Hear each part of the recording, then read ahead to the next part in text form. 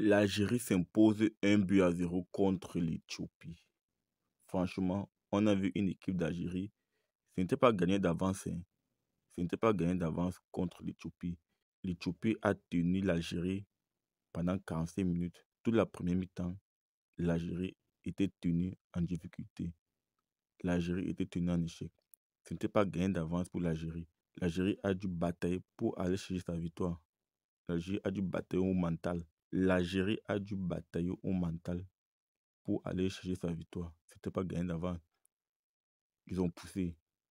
Mais dans l'ensemble, c'est mérité parce que l'Algérie, c'est plus de 14 tirs. C'est mérité. Au final, donc, l'Algérie qui se qualifie pour les quarts de finale de son propre champ. L'Éthiopie qui n'est pas encore complètement éliminée. Mais ça sera très compliqué pour eux. Mais la Libye qui est déjà éliminée. Je trouve que le niveau de ces champs est très intéressant. La qualité de jeu de ces champs est très intéressant.